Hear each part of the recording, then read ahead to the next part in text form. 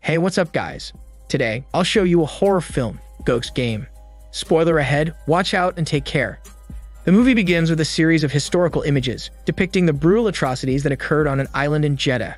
In 1986, a communist commander stormed the island and captured 10,000 hostages, who were subsequently subjected to horrifying conditions. He'd intended to use the hostages to negotiate with the government, but the government refused to make a deal. Instead, they retaliated by sending the military to the island. Knowing he is doomed, the commander massacred as many hostages as he can before committing suicide on May 9 of that year. When things quieted down, the government seized the island back and erected a memorial museum to honor the lives lost on the island. The museum was opened on the same day as the commander's first death anniversary, but pretty soon, the museum became entangled in rumors that it was haunted by evil spirits. Two men were found dead inside the museum one night, and the videotape found just showed that they suddenly dropped dead on the floor. The official cause of death was ruled as extreme shock. Ever since then, the museum has been reported to be haunted. This is why a reality show is now planning to shoot its new season there. 11 contestants will be shipped to the island, and the last one standing will receive a massive cash prize. The last season's winner, Dao, and the runner-up, Yuff, will also join the contest. Soon the whole production travels to the remote island. The contestants are all young and eager to get the cash prize. Each one thinks they will be the one brave enough to last the longest on the haunted island. The group ride a boat and arrive at a marshy and humid island, blanketed by a thick forest. A camera crew is already ready at the dock to film their arrival. After a short trek, they enter the former military compound. Out of respect, the group performs a strange ritual first for their protection. A man chants in a strange language as the wind blows strongly. Suddenly, he goes crazy and attacks the producer. It takes several men before he is subdued. One of the contestants translates what he's saying, sharing that the man was warning them the island is cursed and they have to get out now. The crew members finally manage to get him out of sight, and some of the contestants ask if that scene was part of the script. Unperturbed, the producer just moves on with his introduction. He tells the contestants that each of them will be given a survival kit with maps and instructions. They will also be given prison uniforms and assigned the numbers of the actual prisoners, but all religious amulets or electronic devices are confiscated. After finishing his speech, the producer and the crew file out of the compound and lock the contestants inside. He has his own room where he can watch the live footage, and he can talk to the contestants through a loudspeaker. The show is aired simultaneously, Many viewers tune in as the producer gives a background on the tortures and executions that the prisoners endured on the island decades ago. Meanwhile, they also see the contestants making themselves at home inside the compound. The producer also adds that contestants should be careful when handling the historical fixtures and that they are not allowed to venture inside the off-limits areas. Dao walks past boards filled with pictures of the prisoners. She jumps back when she sees a horrifying reflection on the glass. The other girls ask her if she is okay, but she remains tight-lipped about what she saw. Night falls, and the contestants enter their assigned bedrooms, which were once the prison cells of the inmates.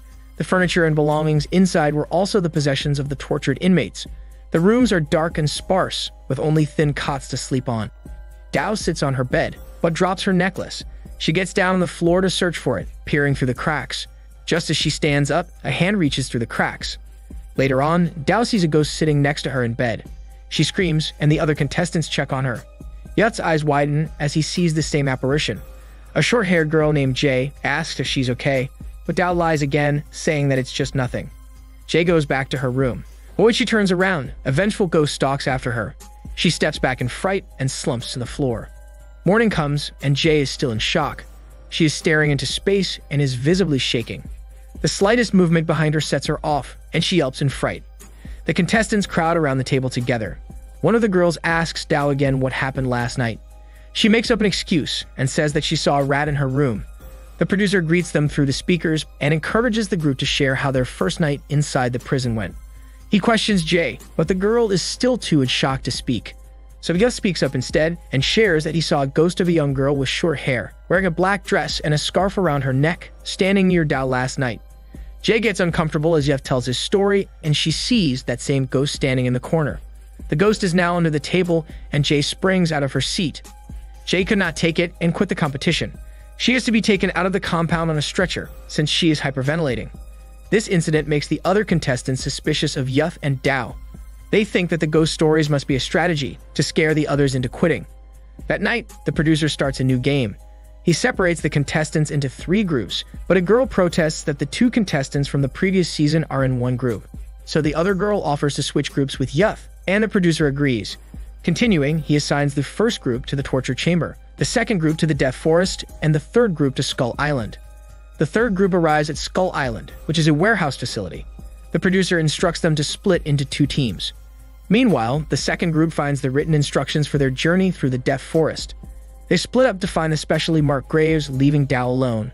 The first group sees the instructions left for them inside the torture chamber. The two contestants strap a girl's hands to a wooden torture device and tie a blindfold over her eyes.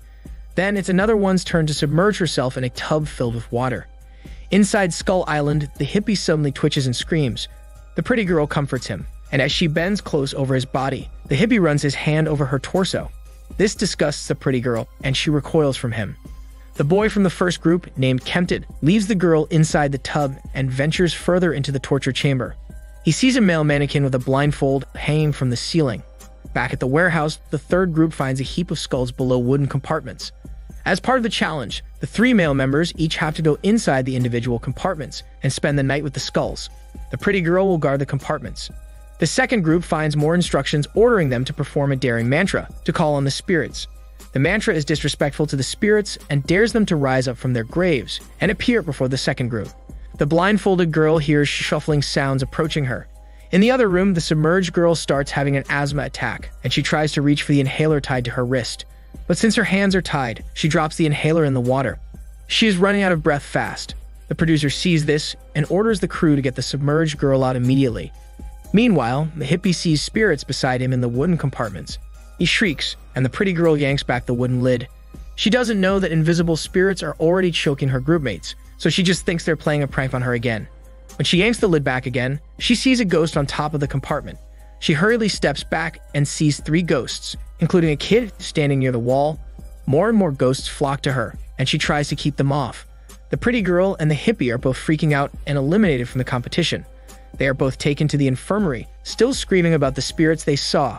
It turns out in the corner is Jay. Meanwhile, the girl recovers from her asthma attack, but she's out of the game too. She'd hidden her asthma ailment from the producers, so this was the basis for her disqualification. In their editing room, the producer and the crew are milking the drama and imagining how the show's ratings will soar. That night, the contestants go to their beds afraid. The winds begin to pick up, and the camera feed in the editing room flickers. The morning dawns on the infirmary, and the pretty girl is still crying from the things she saw last night. The hippie approaches her bed and tries to comfort her by giving her an amulet to ward off the evil spirits. Meanwhile, the remaining contestants gather in the kitchen to have breakfast. Dao sits at a separate table because the other girls are giving her shady looks. The producer announces that one of the contestants had disappeared last night and no one knows where he went. Because of this, the day's activities are cancelled and all contestants will stay inside their quarters only. Kempted confesses to Dao that everyone else is thinking she is the one causing these scary events, so the other contestants would get booted off.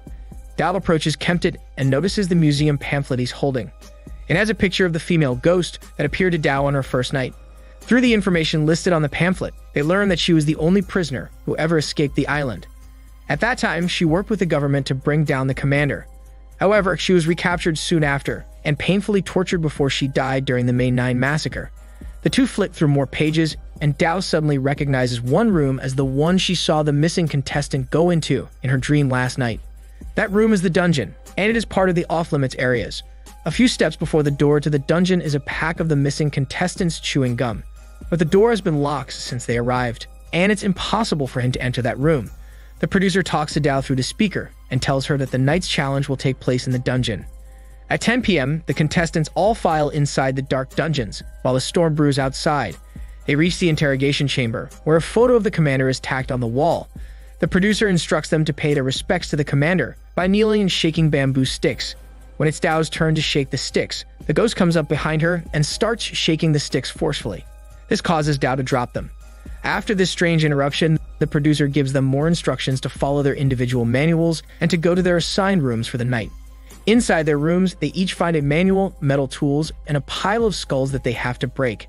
Kempted finds an old diary in his room. Dao ventures out into the hallway and sees the ring from her necklace that she dropped the other night.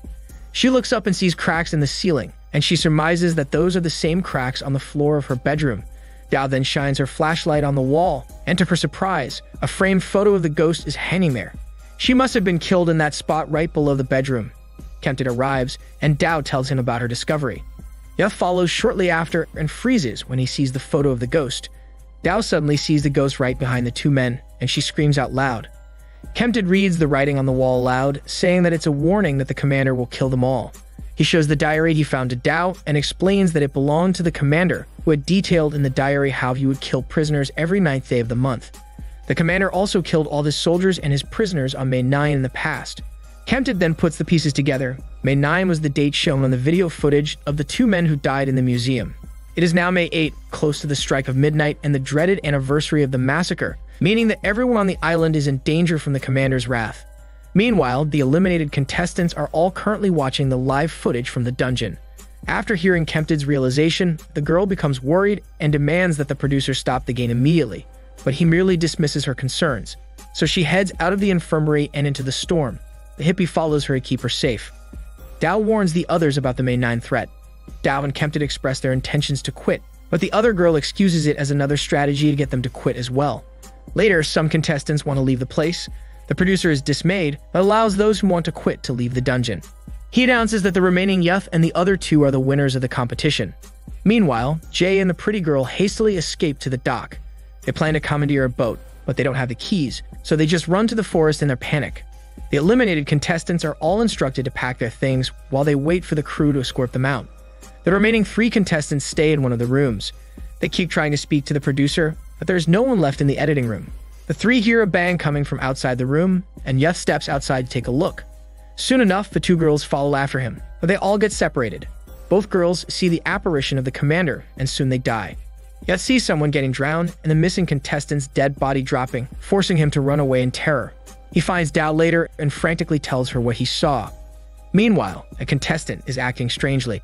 The other girl notices this and asks her if she's okay, but she knocks the girl unconscious. She then straps her to a chair and proceeds to hit her own hand with a rock. It's as if she is possessed by an unseen force and her body is out of her control. One of her hands holds a knife to her throat, and then she bashes the rock to her head as the girl shrieks. This causes her to get an asthma attack, and she dies. Kempted and the hippie run to the gates, where they see the pretty girl staring into space. It turns out she is possessed by the commander's ghost, and she attacks the hippie. He is now stuck in the metal turnstile of the gate, and it squeezes his body until he dies. Dao and Yuff head to the infirmary and the editing room, but find no trace of the producer. A dead man is lying on the couch with his hands tied. The two walk out of the infirmary, and they are met by Kempted, who turns out to also be possessed. He kills Yuff by bashing his head. Dao runs and sees the commander chasing her. She eventually arrives at the dock and gets on the boat. Jay is huddled nearby, rocking herself in shock. The keys are already in the ignition, and Dao starts the boat. Kempted comes running, and he appears to be back to his old self. He pleads with Dao not to leave him, but she doesn't believe him. She jeeves the ship out of the dock, crying. However, she changes her mind and decides to turn around. Kempted smiles as he sees the boat returning. But when it arrives, Dao is already dead. The movie ends with Kempted discovering that Jay is also inside the boat. She is also possessed by the commander and was responsible for Dao's death. This is Daniel CC Movie Channel. Stay safe and enjoy your day.